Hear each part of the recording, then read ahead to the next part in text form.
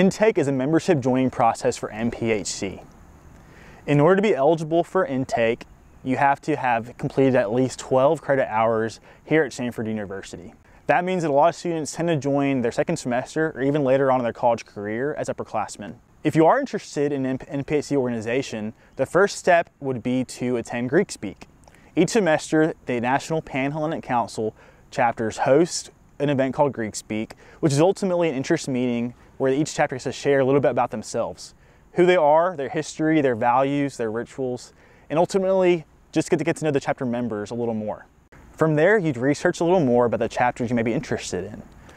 You're able to look up information about those organizations to find out more and ultimately make the decision that's right for you. Once you know what organization you're interested in, you'll jump into the intake process.